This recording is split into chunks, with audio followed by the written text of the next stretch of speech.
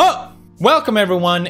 Obviously, there are YouTubers that you don't agree with or like, but are there any you actually recommend?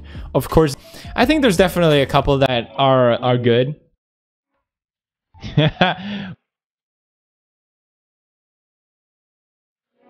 of course, this may be controversial. I don't care. Like these, thank you. But I think there's an underlying issue. YouTubers jobs where they're paid for click, so they're highly motivated to get clickbait. It leads to a lot of hot takes.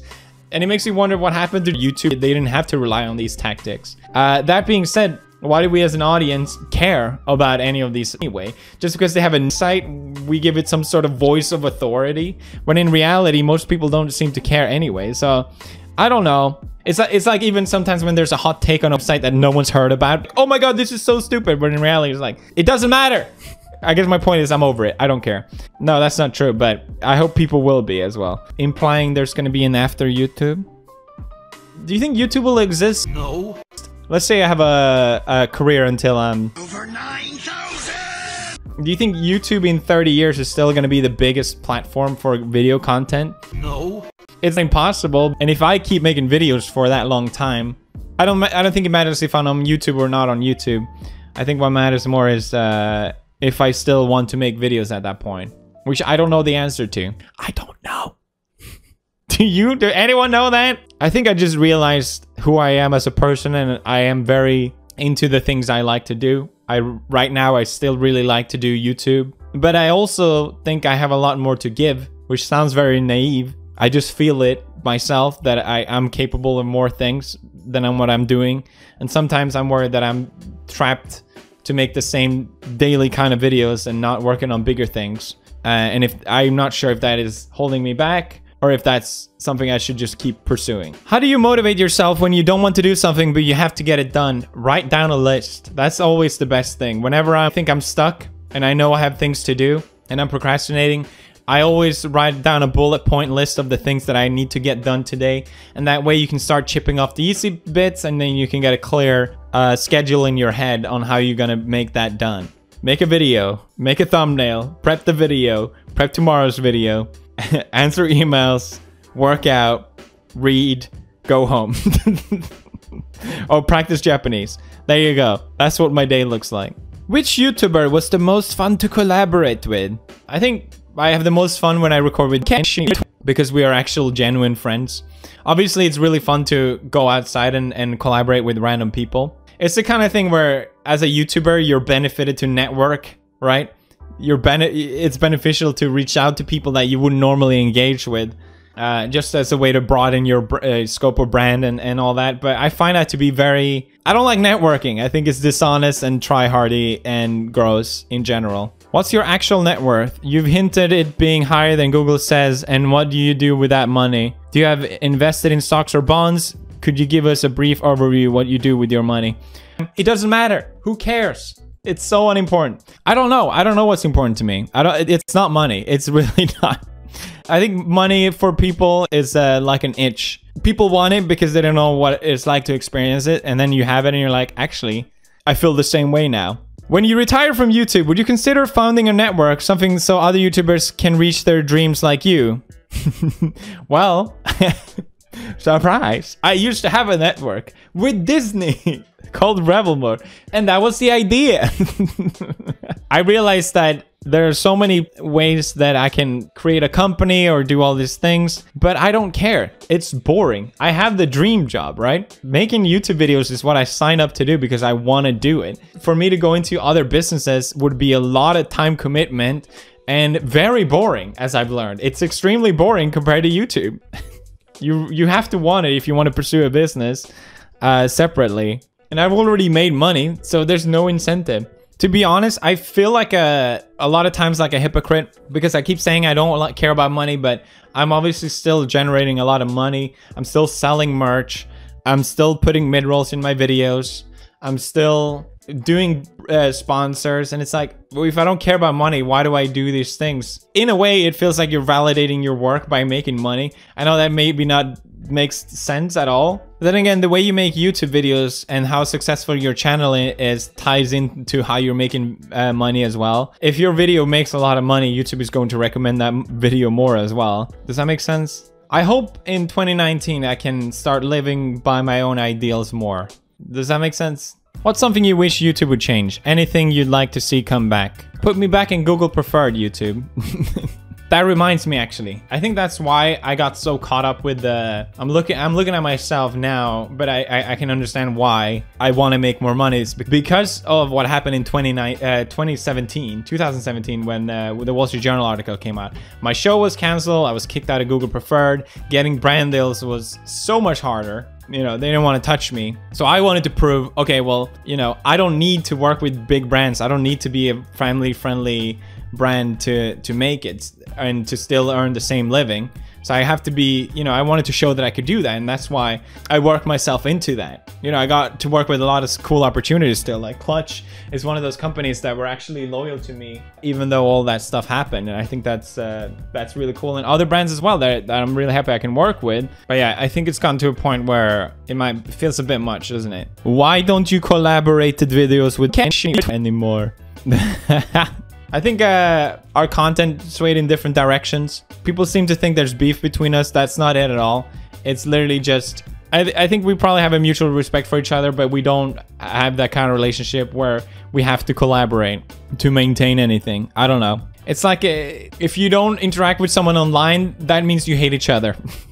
That's how people perceive it online. The way the audience perceives relationships and how it is in real life is completely different from reality. Uh, and I understand that's hard to to understand, maybe, but it'd be great if people aren't blowing all of it up for no reason. Okay. What were the hardest and best moments of your YouTube career and have you always enjoyed the content you make? Well, I'll start with the first one. I think both of those things happened this year. Best moment was uh, obviously the wedding and I got to share that on YouTube. But also some of the hardest happened this year as well. And it's mainly stuff that I, I've had to, I've sort of dealt with behind the scenes a lot of things that just it becomes more complicated if you address it online basically. But that can also be very frustrating because my whole the whole way i've dealt with things uh, on this channel has been i talk about it i address it and i get support from my audience when i do it and and that's a way for me to deal with a lot of hardship that comes with youtube. And then to answer have i always enjoyed the content i make? It goes up and down. I think in in general when i find myself not enjoying what i make that's when i try different things. And based on you guys what you guys think of it i go in different directions and uh, that's the fun of youtube. I think that's why it's always changing for me and i'm not doing the same things all the time. How long do you plan on doing youtube? I've been getting this question so much